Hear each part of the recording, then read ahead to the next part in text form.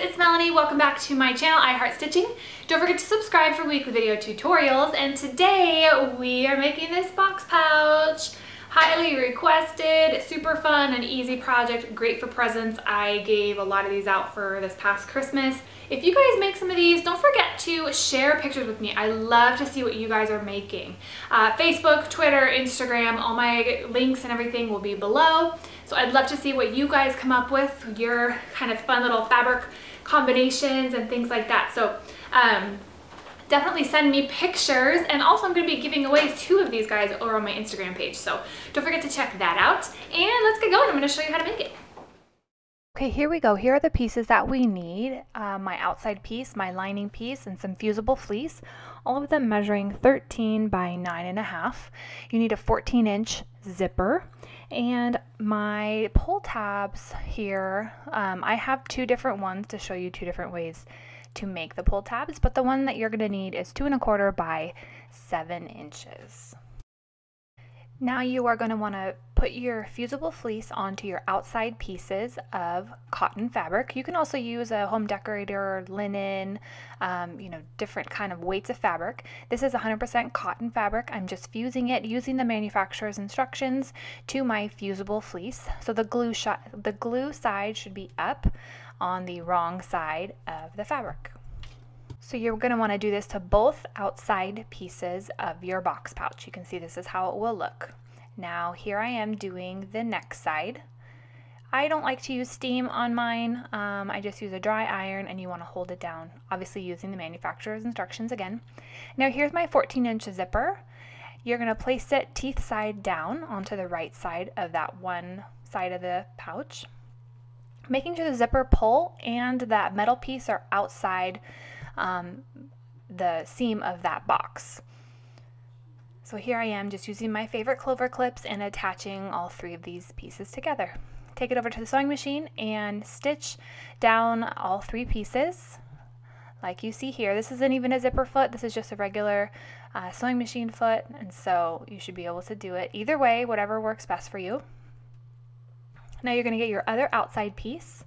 Be careful if you have a directional print and then you're going to be placing the teeth side down onto your the right side of your other outside piece. Make sure that you're lining up all of those layers together because your zipper is going to come out a little bit. Then you're going to place your lining right side down. You're going to make another little sandwich there and clip all of these pieces together and then sew down the other side of the zipper. I will also link a regular zipper pouch, not it's not a box pouch, it's just a regular zipper pouch tutorial that I have too if you're interested in that. So now that we have both sides attached to the zipper, you are going to press down the top side and underside, making sure everything is smoothed out flat because then we are going to top stitch.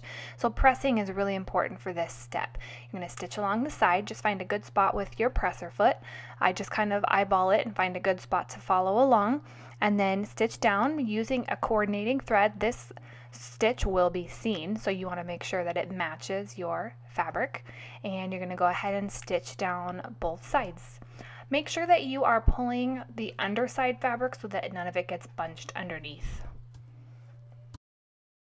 So here's how the top side should be looking and then here's how the lining side should be looking. And the next thing you're going to want to do is make your pull tabs. You're going to put your fabric right sides together and stitch along that 7 inch side. And then you're going to turn your work. This can be a little bit tricky. You can use a chopstick or something to help you out. Um, once you have that all turned out, you're going to give it a nice good press, just kind of rolling that seam in between your fingers just to make sure it looks nice and neat. Here is another way to do it. You could iron a quarter inch on each side and then fold it in half and stitch it down. So if you're having trouble turning it or you have trouble with your hands or something like that, this would be another way to do it. Then I'm just going to stitch down each side of the pull tab just to give it that extra professional look. This is totally optional though. The next thing you want to do is cut this piece right in half. Now this is the part where a walking foot will be really helpful. If you don't have a walking foot, that's okay, but if you do have one, go ahead and put one on your machine. You're gonna fold your pouch in half with those outside pieces facing each other. Your lining should be sewing, and you're gonna sew the end opposite to the zipper. You're gonna sew that closed using a half inch seam allowance, just like you see me doing here. Make sure all of those edges are lined up. Half inch seam allowance, this is how it should be looking. This is the bottom part of your bag. And then you're gonna zigzag that seam to finish that seam off. Um, if you have a serger, this is a spot where you could definitely use your serger. That is what I normally do. But for this tutorial, I wanted to do something I thought most people probably have a zigzag stitch. Um, and so that's what you want to do for that step. Next is you want to just trim up the sides of the bag just to get a nice even edge so that the stitch is nice and easy to do. Um, you're going to do that on both sides. And then you're going to open up that zipper about halfway, three quarters of the way. Line up the bottom seam to the bag with the zipper, just like you see me doing here. I'm starting with the, the side of the zipper with that little metal stopper. And then you're going to fold your pull tab in half, sandwiching all the layers together so that it's all right in the middle. So you're going to want to pin all of these layers really well so that nothing shifts around so that pull tab stays in the right spot. So once you have that side pinned, you're going to pin the next side, which is a little trickier. So fold your pull tab in half and I want you to pin it to that bottom seam of your bag right in the middle. Do this step first and then pinning that zipper, that split will be a little bit easier. You're going to want to have the zipper overlap just slightly like you see here. That way when it's being pulled through the machine and the feed dogs are pulling it through, that way it'll be nice and flush and you won't have a gap. So make sure both sides are pinned. Take it over to your machine and straight stitch half inch seam allowance going down that side of the bag. You can back stitch over the zipper a few times and then go ahead and do it on the other side. This is where the walking foot is really helpful with all those layers. Then you're going to use non-fabric scissors and trim off those portions of the zipper. Now, if that metal end piece is still within your seam, you want to trim that off. You don't want to break a needle when you are trying to zigzag um, this seam to finish it. So you want to make sure that you cut that part off. Cut the other side of the zipper, and then you want to zigzag to finish this seam off. Do both of those sides with a nice dense zigzag or a serger. Then you want to mark the sides of your bag on each of the four corners about two inches down. Then you're going to pop that corner out, lining up the side seam with that blue line that you made.